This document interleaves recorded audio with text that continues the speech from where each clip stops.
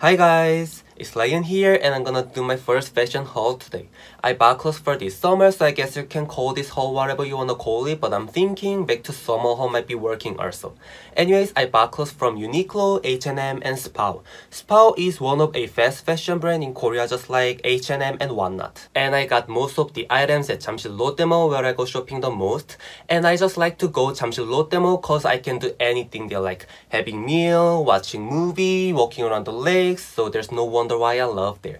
Anyways, the clothes I'll show you today are mostly under $10 so I guess you can get these stuff even though you still are a student like me. I wanna start with this pants but this one is from Uniqlo and I wanna tell you how Uniqlo is in Korea quickly before moving on to this stuff. Uniqlo is the most popular clothing company in Korea and you can see the branches at almost everywhere in Seoul. It's not like everyone's favorite brand of fashion, but everyone's favorite brand to wear. I hope you guys noticed the subtle difference between both. Back to the pants, Uniqlo is calling these linen blend shorts and I just really love this texture. It's kind of complicated to explain this, but this texture helps the wind flow legs freely through so when your legs get sweaty, it doesn't feel tight or trapped in moisture and yeah, you can get cool and dry in the summer with this. I'm not sure I can match this well with others easily, but I chose this beigey nude color cause this tone is kind of a fashion trend of 2019 spring summer. I also think that I don't care about fashion, but I still look nice. Look is also kind of cool in Korea, so I guess this linen style can be a perfect choice in both practical and fashion ways. By the way, I just realized that I said most items I'm showing today is under $10, but this one is actually almost 30 bucks, which is the highest price of today's clothes. But I love it, it's okay. So next, the second one I'm gonna show you is having same texture actually, but just longer and much cheaper. I know it's kind of insane that the pants I bought from Uniqlo is having very similar design, but more expensive. Getting something on internet is always the best way to have a nice deal in Korea. It's almost always better. Anyways, this is from Spao and I bought this on internet cause there isn't Spao at Jamsil. Spao is People don't go there as much as before, but I still go getting some clothes. The design here is not the best I think, but the quality and price is fine, obviously. Back to the clothes. Like I said before, this is made of linen too, so I'm pretty sure it won't be hot wearing these this summer even though it isn't short. And I chose this color cause I thought this is having similar color with Living Coral, which is chosen as the color of this year by Pantone, but I know it seems just brown and it actually is just brown. But I'm okay, I like it. Thanks, next. Let's move on to tops. The first top I'll show you today is this honeybee polo shirt from H&M. I just really love to wear polo shirts in the summer. If you are not a polo shirt lover, I know you might not get why I'm into this, but trust me, this is the easiest item to match with anything in the summer. It always gives people the impression of decently dressed but not too nerdy.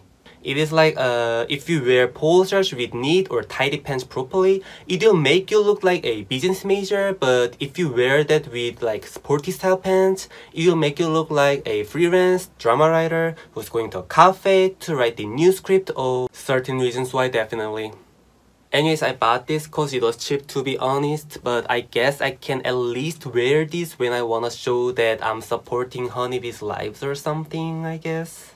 And next, this half sleeve shirt is from H&M also. It was $17 and I think it's worth it. I mean, when I just bought this and came home, my sister was like, Oh, I forgot you're going on trip or something, right? And I was like, I know somebody might think it's too much with these patterns and yeah, I usually don't wear the like tops having too many designs on them, but I thought this tone is kind of decent, right?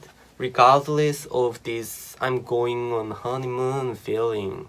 Anyways, uh, having more and more patterns of flower or plants is trending in Korea now, so I'm thinking it would make a good match with the pants I showed before, like these veggie shirts and white t-shirts inside, and yeah, I like it, and yeah, I love it 3000 buddy. Next items are these last ones I treated myself with. I bought two character shirts from Uniqlo cause there was sale that giving me two shirts on just 20 bucks. I bought Mario ones even though there were like hundreds of different character shirts like Lego and Mickey Mouse. So yes, it took time to pick which t-shirts I would get and the first winner who made Ryan splurge is ta-da! It seems like the Mario here is chasing another Mario which doesn't have his whole head. When I saw this first time, I was like, oh, I take this. But since after I found out he doesn't have complete head, I was confused. But I still with it. I still like this color anyways. And this is another one and it actually is saying like you totally failed but it's adorable right? I usually like to wear bright color shirts in summer but this is actually saying like you totally failed and I like mean things so how could I have left him alone, right? And that's it. So I hope you guys could get some looks and idea for this summer by this video. And I didn't want this video to be too long, but also wanted to explain diverse things. So I couldn't put more clothes inside, but I can try making separate video or places to shop in Seoul, all the clothing brand Korean wears, if you wonder. So comment on this hopefully and giving me a like or pressing the subscribe button would really help me shoot the next video. And See you.